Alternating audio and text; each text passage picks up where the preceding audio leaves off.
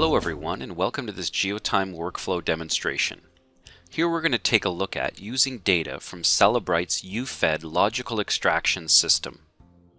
The data we're going to be looking at was extracted from a BlackBerry Curve device. The extraction provided us with a number of different directories and files.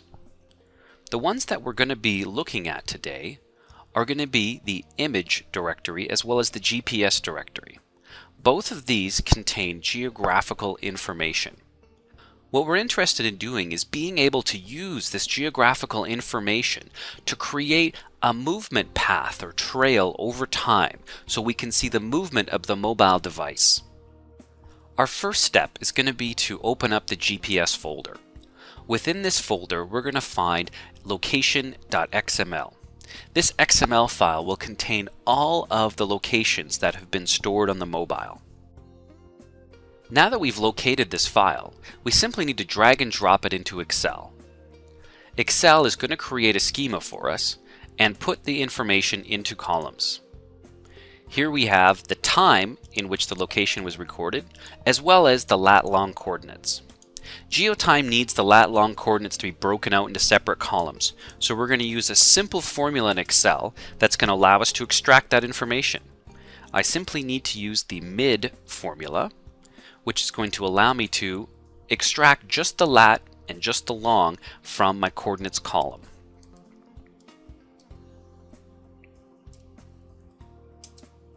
Here you can see I've extracted just the long coordinates.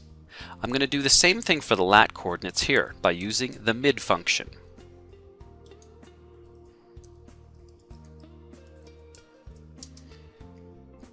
Now that I've got the coordinates broken out into lat long columns, I can simply use the GeoTime add-in for Excel to send this data across to GeoTime.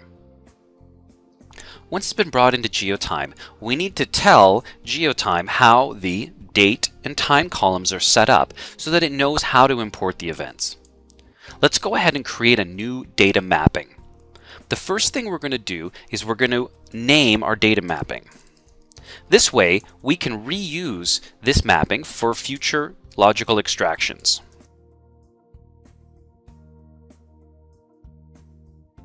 To start with, I'm going to assign the time column. This is the when column in our data set. But you can see that GeoTime still is warning us that the format is not set correctly. By clicking on Formats, we can now go through and set up how the data has been formatted.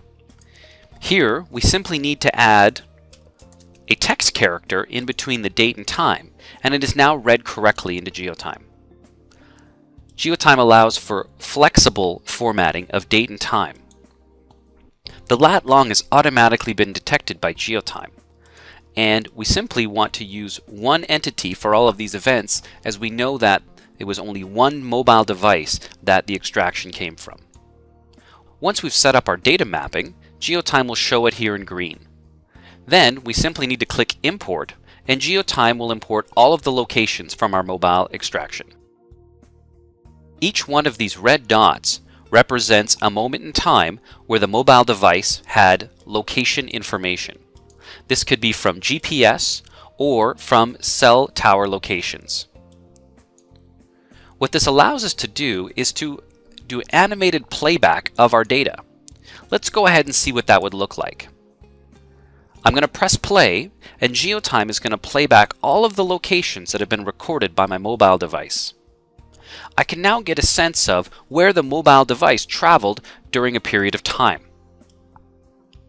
The second bit of location information is found within the photos taken from the mobile. What we're going to do is we're going to open up that folder which contains all of the images. To do this, I'm going to go into my logical extraction directory from the BlackBerry Curve. I'm going to choose Files, and I'm going to choose Image. These are going to be all of the images associated with that phone. Within GeoTime, I'm going to choose Folder of Photos. And this is going to allow me to open up the images as well as their geolocation information. In order to do this, I'm going to use the General EXIF Images mapping. You'll notice that GeoTime is going to throw up a warning here listing it in red as the first few images do not have geographical information associated with them. The next step is going to be to make sure that I have my merge events checked on. This way I'm going to maintain all of the data that I've already imported. Let's go ahead and import that and here we can see the images that have been brought in to GeoTime.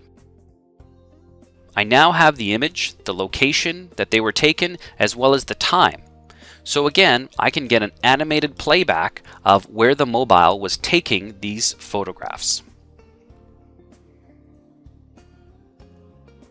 GeoTime can be used for doing trend and movement analysis, as well as looking for patterns and meetings of interest between different individuals.